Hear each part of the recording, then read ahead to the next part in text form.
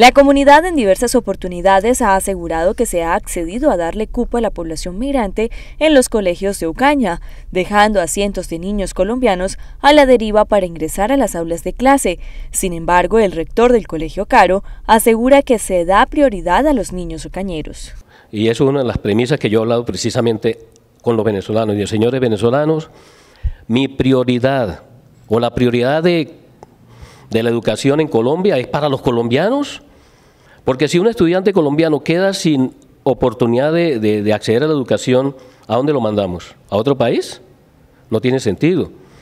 Por lo tanto, eso tiene que analizarlo tanto la Defensoría del Pueblo, la personería, bueno, cuando se elija, en fin, las entidades correspondientes, para que la prioridad de la educación es para los colombianos. Eso es lo que he mantenido. Em, he tenido charlas, afortunadamente los venezolanos, los señores extranjeros han entendido las razones. Asimismo, se tiene una propuesta por parte del docente para tener una solución a esta situación que se presenta en Ocaña con la población migrante. Por parte del docente se espera que sea estudiada esta propuesta y así se logre una solución a esta problemática.